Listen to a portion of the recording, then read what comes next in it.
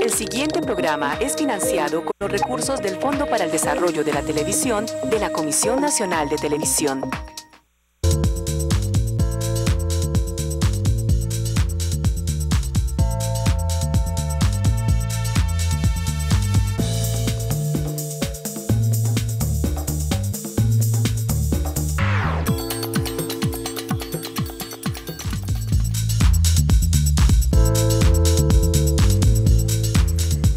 Tardes para todos nuestros televidentes de Teleantioquia. Este es su canal, nuestro canal. Y hoy en Red Vital tenemos un tema muy especial. A propósito de que nos interesa la salud y una mirada integral de la salud, hoy nos preguntamos qué está pasando con la salud de los seres humanos que estamos expuestos desde 8 horas al día, 5 días a la semana, a radiaciones de todo tipo eh, de equipos electrónicos, de electrodomésticos, de aparatos de telefonía móvil, de antenas de telefonía móvil que están en la ciudad y que están contaminando el espectro electromagnético en nuestro cuerpo, que también está lleno de energía y que funciona también a partir de impulsos eléctricos. Vamos a hablar de qué pasa en nuestra fisiología, qué pasa en nuestro cuerpo, en nuestra salud diaria, cotidiana, con este tipo de artefactos que se nos volvieron necesarios, pero que también están ocasionando unos daños a veces, eh, al parecer, es una contaminación invisible, pero los daños son palpables. Entonces vamos a conocer un poco la historia de Jorge Eduardo Berrío, que a través de un proceso de salud decide tomar una decisión con su familia a propósito del impacto que tuvo en su vida una antena de telefonía móvil. Veamos.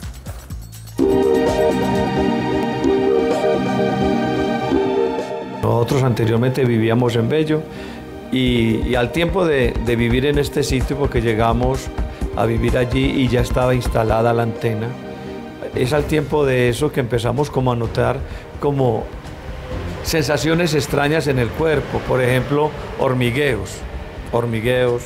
Eh, pensamos inclusive que los dolores de cabeza también se incrementaron. Normalmente mi esposa y yo sufrimos de migraña. Entonces, eso se incrementó. En los niños también vimos eh, cambio de comportamiento, dolores en los pies y, yo pienso que hasta el estado emocional cambió un poco porque, porque había como más inestabilidad. Eh, nos sentíamos bien por fuera, queriendo bastante el apartamento porque era un apartamento muy amplio, bonito. Eh, daba gusto estar en él, pero aún así uno descansaba estando fuera de casa. Esa antena tenía un contrato por 10 años. Yo fui inclusive al SIMPAD y vinieron unos ingenieros y tomaron unas medidas y calcularon el peso de, del material del que está compuesto la antena, que más o menos pesaba 300 kilos. Realmente mi esposo fue el que empezó con la duda. Y mm, yo tengo un hijo que estudia telecomunicaciones y él, también me dijo, mami, em, no es recomendable estar en un lugar donde, donde hay antenas, porque esto genera ondas magnéticas. Y esas ondas magnéticas son las que te tienen mal. Inclusive, cuando fuimos a hablar con el doctor Carlos Sosa, él, él, nos manifestó pues que era muy probable que yo sufriera las hemorragias nasales, porque para mí era más complicado porque yo permanecía dentro del apartamento casi todo el día, pues todo el día, toda la noche. Entonces, para mí era, era, era más riesgo. Entonces mantenía cansada, em, dolores de cabeza. Me levantaba y, me pesaban los pies y, mm, bueno, eh, en general el estado anímico era mínimo, era mínimo. Y mi hijo me insistía en que este problema lo tenía, era por eso. Nosotros nos acostábamos y, normalmente nos acostamos temprano. Nosotros a las 9 de la noche nos estamos acostando y, tenemos buen dormir. Pero nosotros sentíamos que que no descansábamos en la noche. Al otro día era como si la noche hubiera pasado muy rápido, o, como si no hubiéramos descansado. Bueno, eso. Y amanecíamos con hormigueo en el cuerpo, principalmente en las, en las extremidades inferiores y superiores. Ellos han sido muy inquietos y, conversadores y, bueno, como todo niño. Y el nivel de energía también era mínimo. Bueno, no era, no era normal. Y en las noches se quejaban mucho de dolores en los pies. Y yo tenía que levantarme a sobarle los piecitos. Y me decían, no, lo que pasa es que eso es el crecimiento, que, mm, que eso va a pasar y todo esto. Y realmente no. Nosotros vinimos a ver que el niño no le volvieron a doler los pies eh, cuando nos pasamos para acá, pero a Leonardo le daba muchas pesadillas, em, mantenía irascible. Em, sí, el comportamiento es distinto. Es distinto, uno como mamá percibe esas cosas en los niños y de verdad que sí. Los sueños no son tranquilos, em, el cansancio es notorio, a Jorge Eduardo y a su familia, mil gracias. A María del Pilar por compartir también como madre, como esa mujer que eh, permanecía en casa y además estaba notando un mayor deterioro en su salud, precisamente porque no solamente en el día, sino en la noche debía estar expuesta a este tipo de radiaciones. Y lo que ellos nos cuentan nos abren aquí un panorama de inquietudes, de preguntas que todavía están, digamos, por resolverse. Muchas, otras ya están bastante resueltas y parece que lo que falta es divulgación. Vamos a estar hablando del tema con los especialistas, por eso vamos a entrar en la consulta.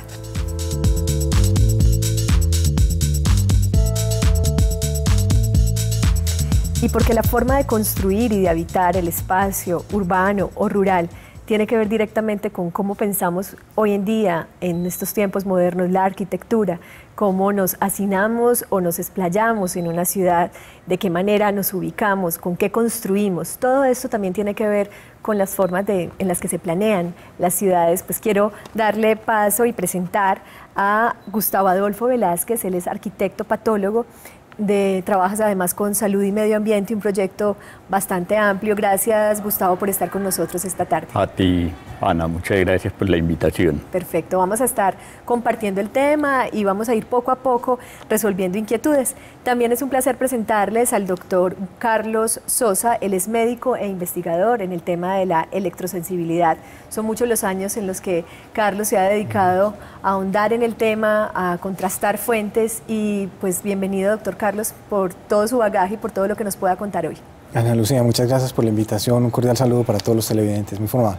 Muy bien, vamos entonces también a conocer a dos invitados más que desde su experiencia particular, porque han vivido la electrosensibilidad, como se le llama, a este síndrome que tiene que ver con muchos síntomas de los que ya hablaban un poco la familia Berrío, que compartió con nosotros en la nota, pero además desde su profesión. Olga eh, Cecilia Cordero es médica general de la Universidad Libre de Colombia, además se ha especializado en medicinas alternativas y viene a compartir su opinión con nosotros. Bienvenida, Olga. Gracias Ana Lucía de estar aquí con ustedes y en lo que le pueda aportar a toda la ciudadanía y a todas las personas que se encuentran con un tipo de alteración de, este, de esta índole, eh, poderles ayudar en su salud. Muy bien, muchas gracias Olga por venir. Y nos acompaña Gabriel Jaime Pérez, que es paciente y que va a contarnos qué significó para usted en su vida cotidiana este tipo de síntomas, cómo detectaron que podía estar viviendo algún tipo de electrosensibilidad. Gracias, Gabriel, por acompañarnos esta tarde. Muchas gracias, Ana Lucía. Sí, queremos compartir con todas las personas que están sufriendo también de este tipo de alteraciones, qué se ha hecho y qué se siente ahora y qué sentía anteriormente. Los cambios han sido muchísimos y son cosas supremamente de rutina, son fáciles y pues quiero compartir con estas personas toda la experiencia, la mala y la buena. Vale, muy bien, muchas gracias. Vamos a empezar por definir eh, algo que tiene que ver directamente con la parte médica. Quiero preguntarle al doctor Carlos Sosa, eh, finalmente, cuando hablamos de electromagnetismo, estamos hablando de un asunto que normalmente nos imaginamos fuera de nosotros, pero que tiene también directamente que ver con el funcionamiento de nuestro cuerpo. ¿Cómo podríamos definir eh, el concepto ligado a nuestro cuerpo? ¿Qué es el electromagnetismo y cómo nuestro cuerpo también tiene un espectro magnético, electromagnético? ¿Cómo no, Ana Lucía? El electromagnetismo es una de las fuerzas fundamentales del universo, aunada a la gravitación universal, la fuerza nuclear débil y la fuerza nuclear fuerte. corresponde a James Clerk Maxwell la integración de los dos conceptos, tanto de electricidad, es decir, de los electrones que fluyen, con eh, los campos magnéticos, es decir, los polos opuestos que se atraen entre sí. Son los mismos, eh, digamos, los mismos aspectos del mismo fenómeno, dos caras del mismo fenómeno. Indudablemente en el, en el cuerpo humano, que es un ente absolutamente eléctrico y que su funcionamiento depende totalmente de potenciales eléctricos, tanto de las células como de todos los nervios, los efectos electromagnéticos son fundamentales. Mire, en el corazón particularmente, todo nuestro eh, todo el corazón, la fibra miocárdica, se basa en la despolarización de la fibra miocárdica. El cerebro asimismo eh, es fundamental este fenómeno de los campos electromagnéticos para producir los fenómenos de conciencia, de percepción, de memoria, etcétera, etcétera, y todas las funciones corticales. En el colegio incluso aprendemos cómo es a partir de impulsos eléctricos que nuestras neuronas se conectan y que precisamente funciones como el pensamiento, pero además teniendo el cerebro una responsabilidad tan importante en nuestro cuerpo, pues regula muchísimas cosas. Hablamos de lo que pasa en nuestro corazón y nos aparece la inquietud básicamente cuando estamos en un avión se nos pide siempre que apaguemos los celulares porque esto puede interferir en el funcionamiento del avión y poco se nos habla de lo que pasa en nuestro cuerpo cuando estamos expuestos a este tipo de radiaciones, sea la del celular o otro tipo de radiaciones de las que vamos a hablar. Quiero saber, eh, doctor Carlos, de qué modo el uso cotidiano de estos aparatos electrónicos, de qué modo un celular puede incidir en la, en la distorsión, digamos, del funcionamiento de ese, de ese campo de energía que también está en el cuerpo humano. Claro, mira Ana Lucía, hay en este momento una gran expectativa con respecto a estos efectos médicos, dado el hecho irrefutable e incontrovertible de que en medicina se han producido literalmente toneladas y toneladas de documentos médicos desde 1894. El año pasado, específicamente el 31 de mayo del 2011, la Organización Mundial de la Salud frenó ese fraude doloso y criminal que traía el proyecto de campos electromagnéticos, que es un proyecto dirigido en ese entonces, hasta hace unos tres o cuatro años, por un físico australiano que se llama Michael Repacholi. El año pasado ya fueron los médicos de la Organización Mundial de la Salud que dijeron, no, más fraude médicos, estas payasadas tienen que cesar. Y declararon por medio de la Agencia Internacional para la Investigación del Cáncer, con sede en Lyon, a toda la telefonía celular, incluido el teléfono y las torres de telefonía que tenemos por todas las ciudades del mundo, como un carcinógeno tipo 2B. Hay una alarma mundial alrededor de estas torres de telefonía celular que son pertinentes para causar enfermedad y causar muerte. Enfermedades como, como cuáles? La lista es interminable. Mira, se están produciendo hipotiroidismos porque todo el sistema endocrino es sumamente susceptible. Hay descripción de leucemias y todo tipo de cáncer. Hay disregulación del metabolismo cerebral. Hay arritmias cardíacas descritas por el doctor Robert Carrillo. Hay daños genéticos directos por el teléfono celular. Es decir, hay una panoplia ah, vastísima está causando una crisis en salud y que posiblemente es la crisis más importante que tenemos para el siglo XXI y que vamos a enfrentar en los próximos años. La premisa de esta noticia eh, el año pasado, 31 de mayo de 2011, varios medios reportaron, no sé si tenemos listo el video, sino después de comerciales lo estaremos compartiendo, espero, si no, lo pueden ubicar en internet claramente, pueden buscar qué pasa el 31 de mayo del 2011 y qué dice la Organización Mundial de la Salud sobre el efecto cancerígeno de, los, eh, de la telefonía móvil y obviamente de la exposición a este tipo de radiaciones mucho más potentes cuando se trata de una antena eh, ubicada muy cerca de las viviendas. Hablar de las distancias, y aquí quiero preguntarle a Gustavo, que ha escuchado, que ha investigado como arquitecto patólogo, de a qué distancia debería estar realmente una antena de telefonía móvil de una vivienda habitada para que el cuerpo y para que esos habitantes, el cuerpo de esos habitantes no se vea afectado. A ver, hay normativas internacionales, eh, por ejemplo en Suecia, Suiza, en los Países Bajos, que establecen básicamente 500 metros. De todas maneras, es importante considerar que la, mm, la física ondulatoria, con su fórmula lambda, es igual a velocidad de la luz sobre la frecuencia, nos va a dar que, por ejemplo, en el, en el caso de campos electromagnéticos que se derivan básicamente de las altas frecuencias, son líneas horizontales y oblicuas. Que viajan en el espacio. No son ondas como, ondas como ondas de radio que aplicadas a esta misma fórmula nos van a dar eh, longitudes de 200, 300 metros, ¿sí? que se esparcen por todo el espacio. Estas son eh, líneas muy dirigidas que van de punto a punto. Eh, físicamente se denominan PIRE, eh, potencia isotrópica radiada efectiva. La onda va, la onda vuelve. ¿sí? Es una línea. Lo importante es que en ese trayecto, en ese recorrido entre el teléfono y la antena, no haya hábitat. Entonces, muchas veces resulta hasta más riesgoso vivir en edificaciones que están en ese corredor de ondas. Obvio que eh, eh, los operadores telefónicos deberían tener en consideración ese factor, asunto que lamentablemente no se considera, no se tiene en cuenta.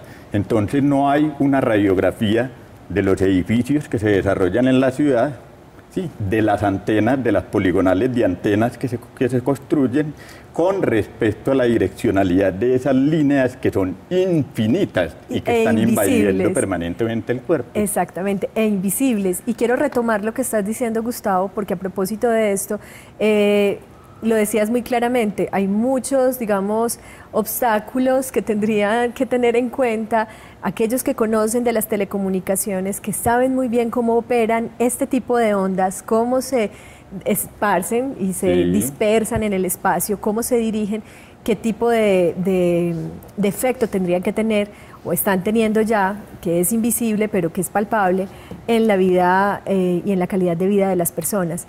Como arquitecto, eh, te has preguntado cómo allá al nivel en el que estamos de sobrepoblación, de un urbanismo que nos lleva muchas veces al hacinamiento, en donde 500 metros en una ciudad como Medellín con su topografía, que es básicamente como una ollita, una tacita, ¿de qué modo entonces realmente podríamos empezar a, además de la responsabilidad que puedan tener estas empresas, a reducir el impacto de este tipo de ondas? De alguna manera, es, eh, obviamente, superponer las dos radiografías, la de la poligonal de las antenas y la de densificación en altura. Hablar de retiros planimétrica, horizontalmente hablando, es bastante complicado, precisamente por los, los POT nuestros eh, plantean unos desarrollos de densidad física pues muy notorios en donde en este momento no habría un rincón en la ciudad donde pudiéramos aplicar ese concepto de distancia en ninguna antena. Entonces sería imposible. Hay que empezar es a pensar de qué otra manera, sin impactar el paisaje además, porque sabemos que las torres en un momento dado también se convierten en elementos impactantes del paisaje, eh, cómo eh, de alguna manera mitigar los efectos negativos que se puedan generar, muy especialmente con las personas que sufren y que de alguna manera se ven afectadas por su electrosensibilidad.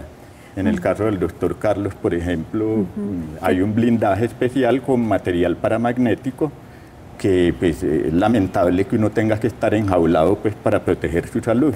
Vamos a hablar de eso y además que eh, Gustavo toca particularmente un aspecto que también podemos compartir eh, con el doctor Carlos Sosa y es que además ha tenido usted mismo por, eh, por vivir el síndrome de electrosensibilidad, buscar ciertas herramientas que sirvan para tener un poco de mayor calidad de vida y hay una herramienta clave también que es la comunicación y hoy estamos aquí hablando del tema precisamente para revisar eh, dentro de unos minutos también qué tipo de legislación existe para que un ciudadano o una ciudadana pueda buscar algún tipo de respaldo y apoyo para proteger sus derechos, más allá de los intereses también económicos que hay detrás de eh, justamente la instalación muchas veces de este tipo de, antenas y entender que hay un respaldo científico también de esta información que ya la OMS, la Organización Mundial de la Salud, habló abierta y públicamente del tema el año pasado.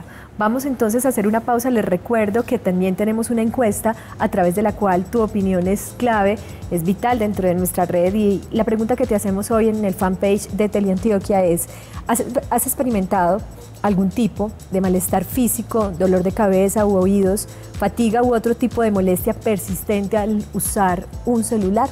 Si es así, nos dices que sí. Si no, pues nos dices que no. Y aquí empezaremos a entender qué tanto sí nos está afectando, qué tanto sí sentimos molestias y muchas veces simplemente cómo las dejamos pasar porque creemos que hace parte de la vida cotidiana. Les recuerdo también que estaremos en nuestra página de nuestro canal www.teliantioquia.com.co a través de nuestro chat, vas a en vivo, das clic y a partir de ese momento tus opiniones, tus preguntas son bienvenidas. Vamos a hacer una pausa y ya regresamos para continuar hablando sobre la contaminación por electromagnetismo, un enemigo silencioso, invisible.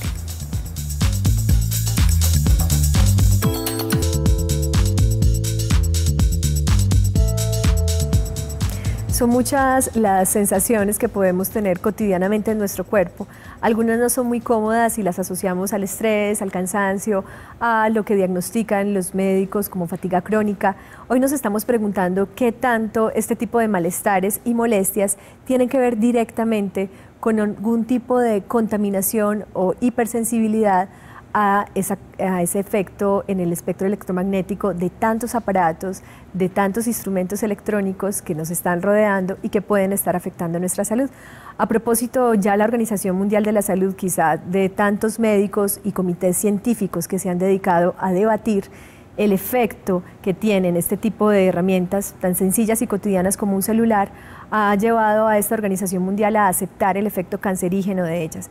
Entonces veamos un poquito qué apareció en CNN justamente el 31 de mayo del 2011, como bien lo mencionó el doctor Carlos Sosa, un día, digamos, histórico también en este sentido. Veamos. Internacional para la Investigación del Cáncer, que forma parte de la Organización Mundial de la Salud, quien dijo este martes que los campos electromagnéticos, como tú decías, de los teléfonos celulares, son considerados posiblemente carcenígenos para los humanos. Y este grupo de científicos y expertos de 14 diferentes países analizaron investigaciones sobre las radiaciones de los teléfonos celulares y concluyeron que estas podrían ser y estar vinculadas con un incremento en el desarrollo de gliomas, que es un tumor maligno cerebral. El doctor Jonathan Samet de la Universidad del Sur de California, aquí en Los Ángeles, quien estuvo a cargo del grupo de científicos, indicó que aunque aún están acumulando evidencia y pruebas, lo que han recolectado hasta el momento es suficiente para cerebral. El doctor Jonathan Samet de la Universidad del Sur de California, aquí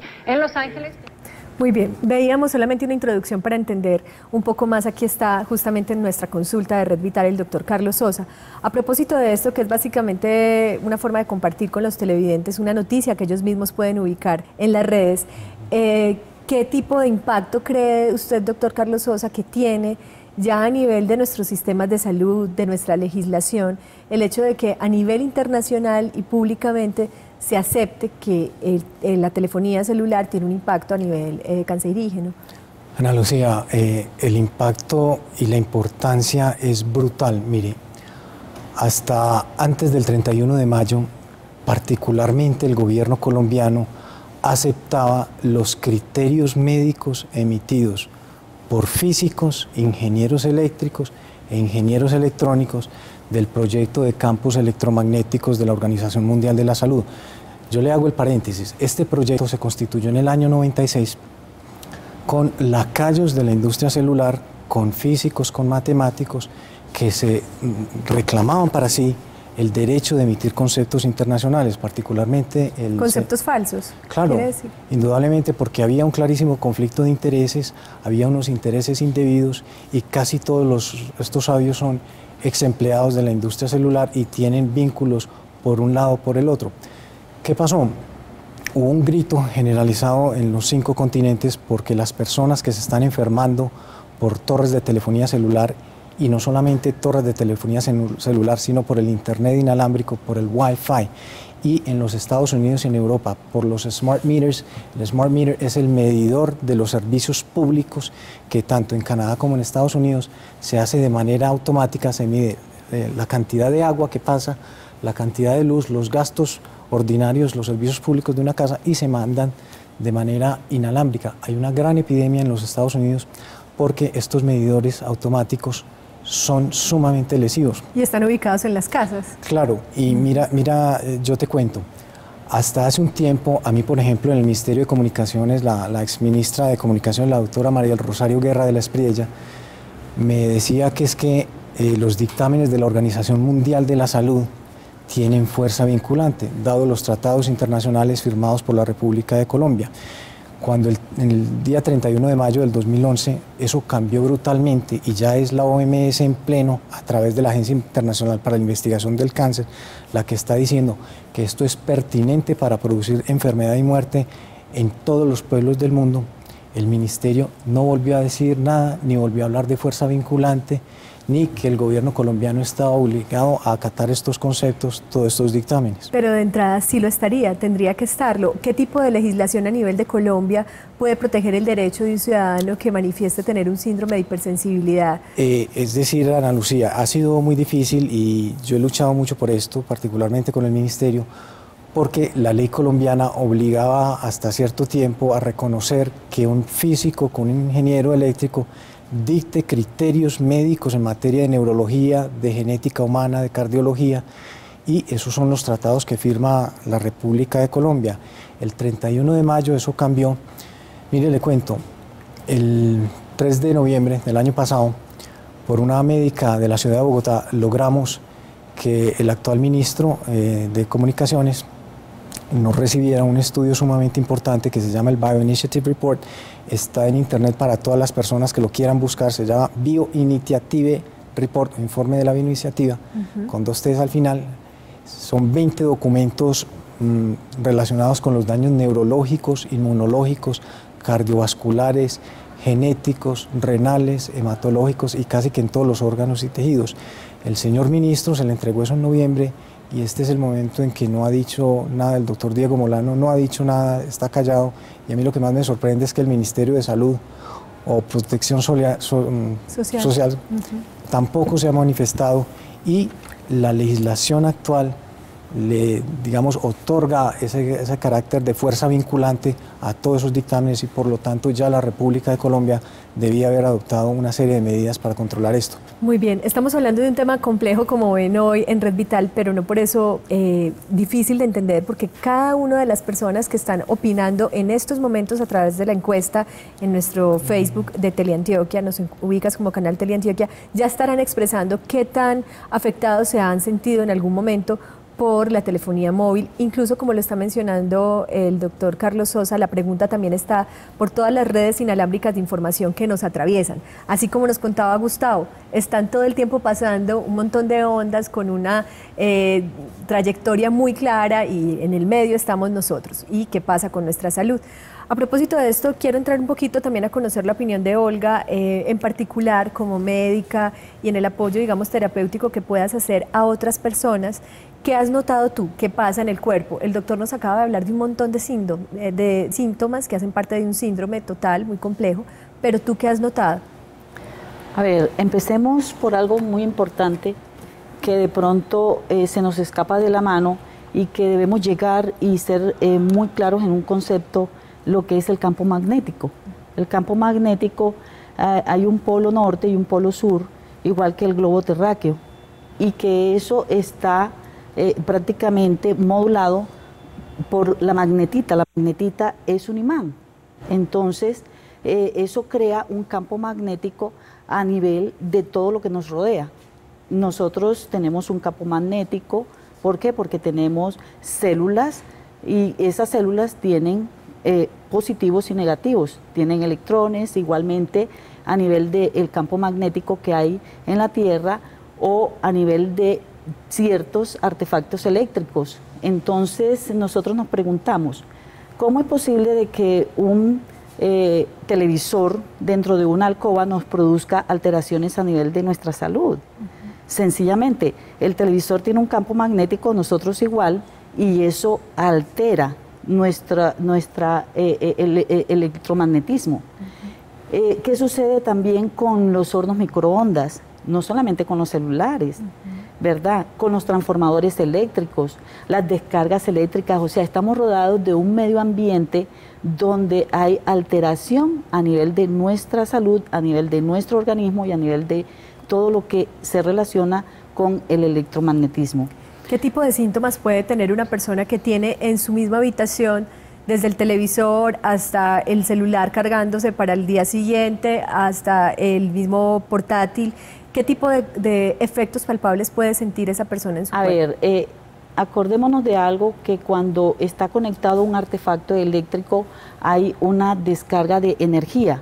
Entonces, eh, si nosotros desconectamos esa, esa, esa parte energética, hay en el medio ambiente electrones que quedan libres y que esos electrones nos van a producir una alteración en nuestro organismo. Así se desconecta. Así se ha desconectado, por cierto y determinado tiempo. Entonces, ¿qué es lo que nosotros tenemos que hacer? Saquemos todo lo que nos está molestando, lo que nos está alterando, porque eso produce una alteración. Igualmente es el agua, hay eh, quebradas, en Medellín hay quebradas que, donde fueron construidas casas y que eso produce alteración a nivel de un campo electromagnético y que nos están produciendo en nuestro organismo. Eh, verbigracia pasó con mi hijo menor. Eh, mi hijo menor estaba durmiendo en una alcoba donde había una corriente de agua y que eh, le producía insomnio. Entonces mi esposo y yo dijimos, vamos a sacar a Isaac de allí, lo sacamos, nosotros nos metimos allí y resulta que también a nosotros nos afectaba.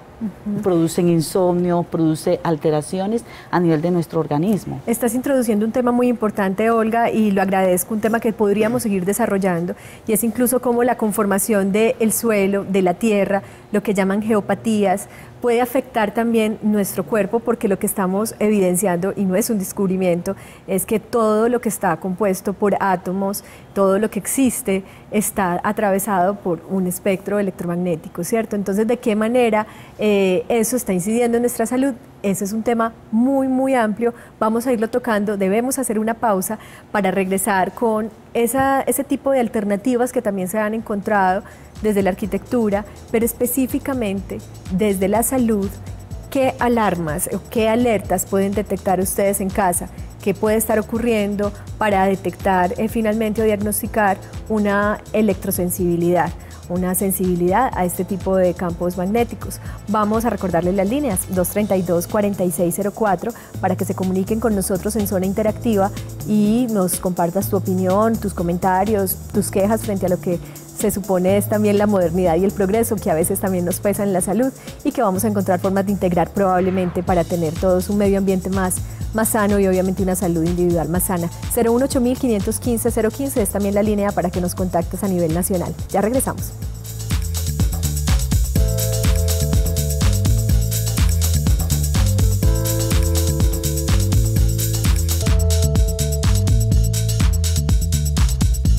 Y a propósito de aquello que nos puede sentar muy bien para una salud mirada desde una posición integral que se ocupe del cuerpo y de la mente, queremos compartirles una conferencia que se dará en la ciudad aquí eh, mañana 12 de julio a las 7 de la noche en el Centro Médico de Asociación de Médicos Bioenergéticos de Antioquia, Amibio, el doctor Álvaro Malenkov. Eh, estará con la gente compartiendo un tema específico sobre el manejo del estrés a propósito de lo que pasa a nivel de nuestro cerebro con los patrones de conducta que se activan con el miedo, con las sensaciones de pánico, de angustia y cómo esto incide en todos los sistemas de nuestro organismo. Eh, les compartimos la información, sé que tienen el teléfono allí para que quien quiera comunicarse y entender un poco más de lo que pasa a nivel del cuerpo cuando nuestro cerebro está condicionado para el miedo y lo que se puede hacer también a través de muchas técnicas que le permiten mayor calidad de vida a las personas. Vamos a entrar en zona interactiva.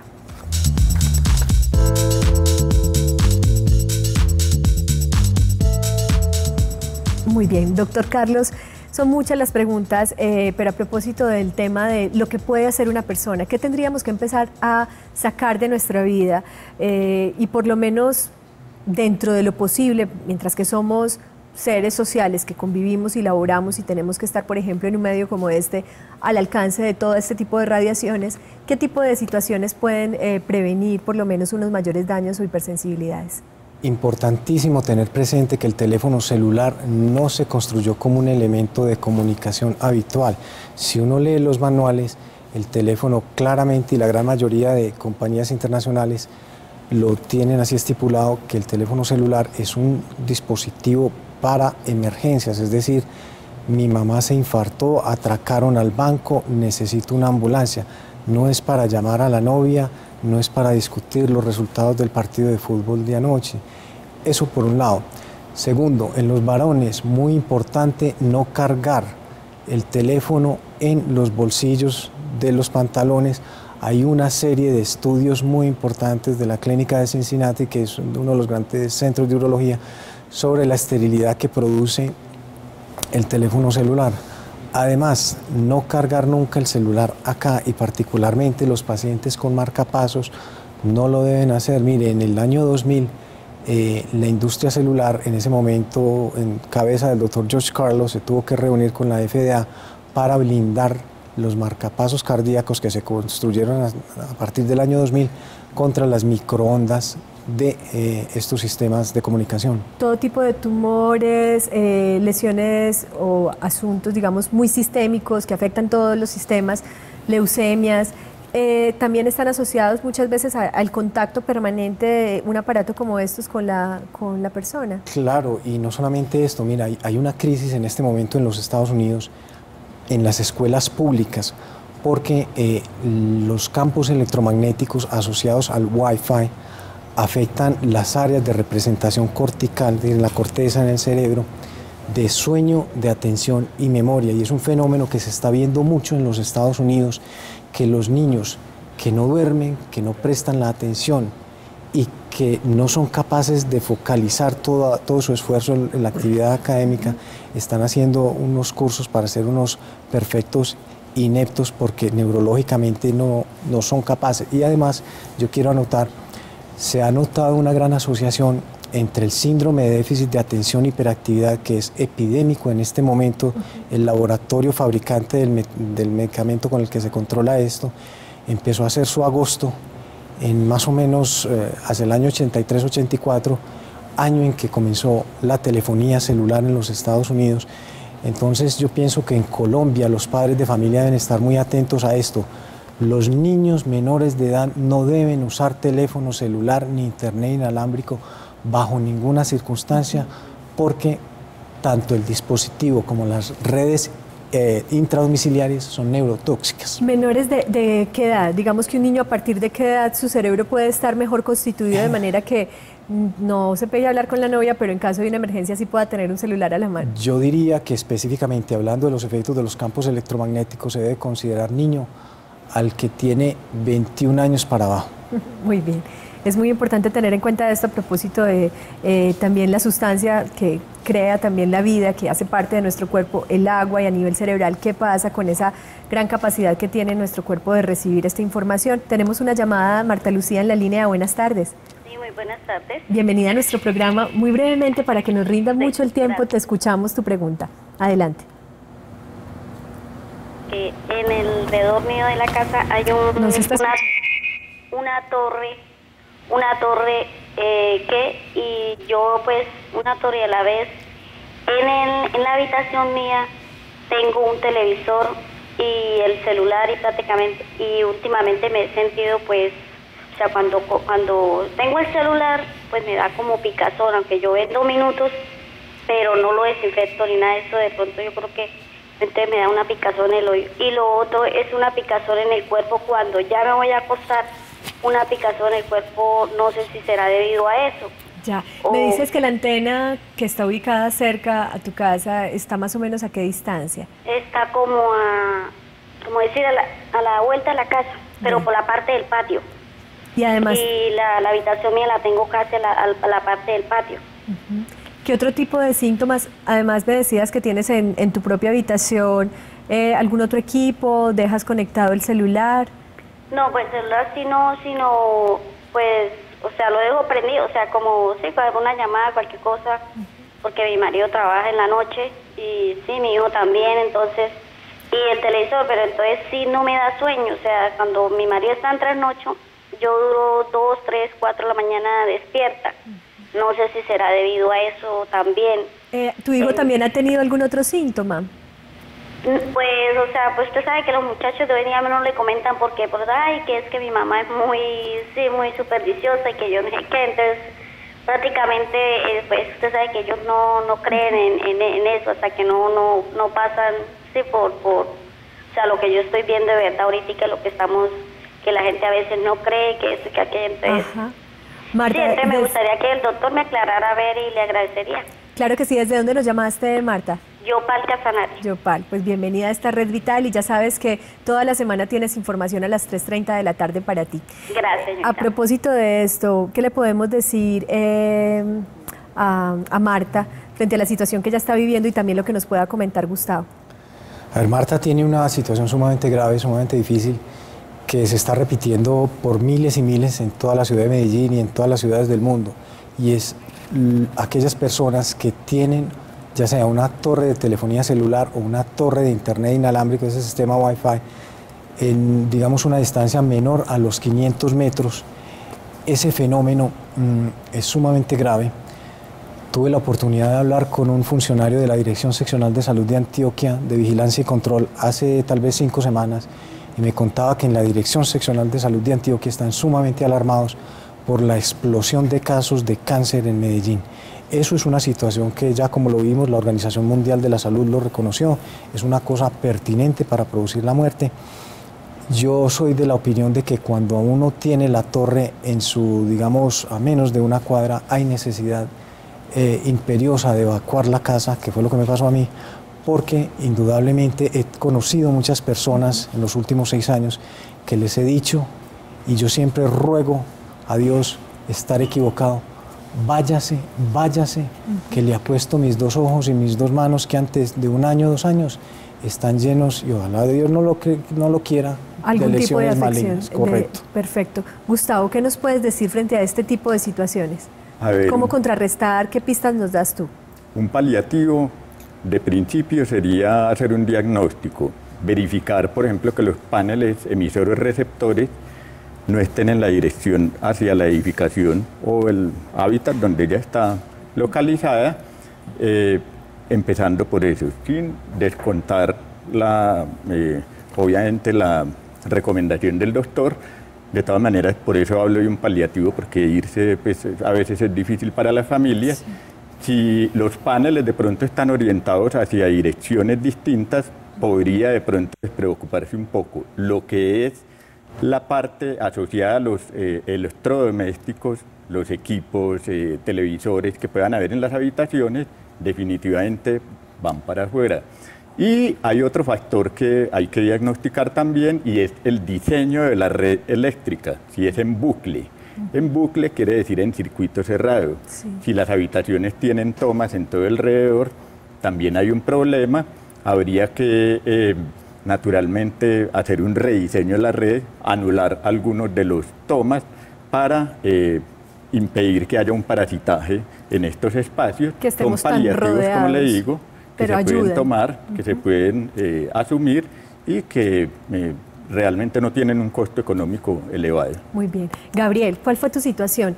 Eh, hacías un poquito, yo creo que de eco con lo que estaban comentando ahorita los invitados en las notas y lo que la misma Marta nos comentaba desde Yopal Casanare. ¿Qué nos puedes contar tú? Yo estuve escuchando muy atento con respecto a lo que estaban diciendo ellos. Y realmente no es que sea un solo síntoma lo que uno tenga, son varios síntomas y no sé si es conmigo o será con todos los pacientes, pero tienen cierto orden yo empecé a cambiar mi humor. Yo nunca he tenido un genio, pues la maravilla, la verdad. Pero mi humor se volvió mucho más fuerte, mucho más chocante, nada me gustaba, con todo el mundo peleaba, no estaba de acuerdo con las cosas, no me concentraba. Eso era una de las cosas que me afectó muchísimo. La concentración la perdí, ponía un, digamos, tenía el celular en la mano, lo colocaba en una mesa, sonaba y decía dónde lo dejé o sea, ya la concentración, la memoria la estaba empezando a perder realmente. Y me estaba preocupando mucho eso. Otra de las situaciones que se ve uno afectado es en la relación no solamente laboral, sino la amistad, incluso las relaciones, digamos, de pareja. Se vuelve uno muy disipado. Dicen, no, es que es el estrés. Uno considera que lo que tiene es estrés. Claro, el estrés lo tiene causado es por todo este tipo de cosas que tiene uno en la casa. El televisor, el celular, el wifi, la línea del mismo, digamos, del mismo internet que así no tenga wifi tiene otro. La antena de las, no sé si son las parabólicas, si son también las de celular que afecten y por supuesto todas estas redes eléctricas. Yo vivía en una casa en la que tenía en la ventana de mi habitación, en un segundo piso, a tres metros, un poste de electricidad y a menos de 200 metros una antena de celular. Y en mi habitación tenía el televisor. Fuera de eso tenía un equipito de sonido. Perfecto. Empezaron las cosas a cambiar, a cambiar, pero yo empecé a notar todo básicamente en el cambio del humor, la pérdida de concentración, la pérdida de la memoria y eso le desorganizó uno la vida totalmente. Muy bien, la gente se debe estar preguntando, además de lo que ya nos han mencionado los dos especialistas, eh, Olga nos quiere decir algunas otras cosas que han podido incorporar en la vida cotidiana de las personas, tan sencillo como no calentar la comida en el microondas, porque tiene un impacto a nivel de la composición del alimento y a nivel celular en el cuerpo. Todo tipo de cosas, eh, digamos, que podamos compartir, no se van a quedar con las ganas porque este tema es muy amplio y lo vamos a seguir tocando aquí y también a nivel de las redes de información, pues también nos sirven para estar enterados. Tenemos una llamada más de Claudia desde Itacuí. Claudia, muy breve, por favor, porque el tiempo es muy corto en televisión. Adelante. Muchas gracias, buenas tardes. Buenas tardes. Permítame brevemente también felicitarle y darle un, un millón de gracias por este programa de hoy, por todos los que vengan. Eh, bueno, yo hace mm, un, mucho tiempo estoy batallando con mi pareja para sacar el televisor de la habitación. Eh, no me ha sido posible porque es más terco que yo, pero en este momento yo tengo 40 años y olvido muchas cosas. Antes me parece que tengo 90 mentalmente. Em, olvido muchas cosas, no retengo nada, estoy de mal genio, cosas parecidas a, a la persona que está allí. ¿Cómo este televisor que está a escaso un metro de mi cama me está afectando mi salud. Y a ver, para seguir en la batalla, y que todas las mamás y amas de casa que estamos permanentemente en las casas, eh, estamos expuestísimas más que, el que se va en la mañana a trabajar. Así es. Pues, muchas gracias y un abrazo. Claudia, un abrazo para ti porque acabas de hacer un llamado social frente al tema como tal de la convivencia y las medidas que podemos empezar a tomar en casa. Eh, ¿Qué le podemos decir, Olga, a, esta televidente? A ver, eh, retomando algo que decía el doctor Sosa y es este, los problemas de próstata, los problemas de alteraciones miocárdicas. Eh, las hipertrofias prostáticas son producto a veces del uso del celular. Ajá. Eh, el tema como tal del televisor en la habitación que a ella le ha restado la tranquilidad lo, del sueño, Lo del televisor en, el, en, la, en las alcobas, hay una, una conducción que nosotros podemos tomar y es modulando ese tipo de alteración en un programa más adelante, de pronto que ustedes me den la oportunidad, yo les puedo venir a hablarle de esto y ofrecerles las alternativas que nosotros tenemos con respecto a esto. Perfecto. No solamente sacar el televisor, hay otras cosas que nosotros podemos utilizar y que nos estamos protegiendo. Perfecto. Debemos ir en conexión eh, que es una nota que le va a permitir tanto a Claudia como a Marta, a todos nuestros televidentes, estar más atentos y conectados con este tipo de información para que el doctor Carlos también nos dé algunas otras pistas que le puedan servir a Claudia y creo que debes insistir en esa batalla como lo has dicho porque definitivamente está claro, el impacto lo estás recibiendo y probablemente tu pareja también y no se está dando cuenta. Vamos en conexión y ya regresamos.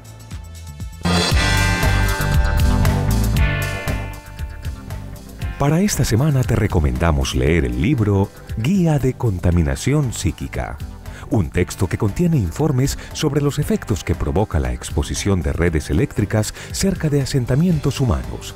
Su autora, Yolanda Sierra, expresa en el segundo capítulo del libro las posibles causas y soluciones de este enemigo silencioso que hace décadas está alterando la dinámica corporal y espiritual del mundo entero lo puedes encontrar en Google Books.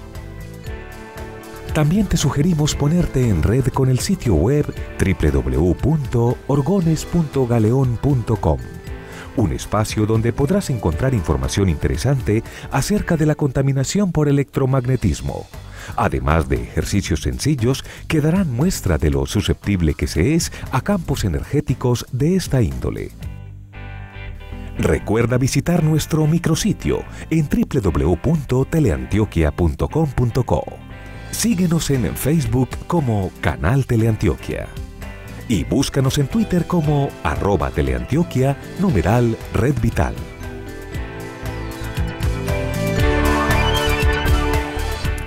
Hay muchas preguntas a raíz de este tema y es quizá, eh, digamos, el resultado de reconocer que nuestro cuerpo no es básicamente un asunto sólido simplemente, sino que este cuerpo que tenemos es el resultado de un montón de ondas y frecuencias de energía que están ahí y que a un nivel muy, muy, muy invisible conforman todo lo que somos. La pregunta que nos hacen en el chat acerca del impacto que pueden tener cierto tipo de herramientas como cierto tipo de cristales, piedras semipreciosas, eh, que también son minerales, que también pueden eh, generar ciertos beneficios. Es un tema muy amplio.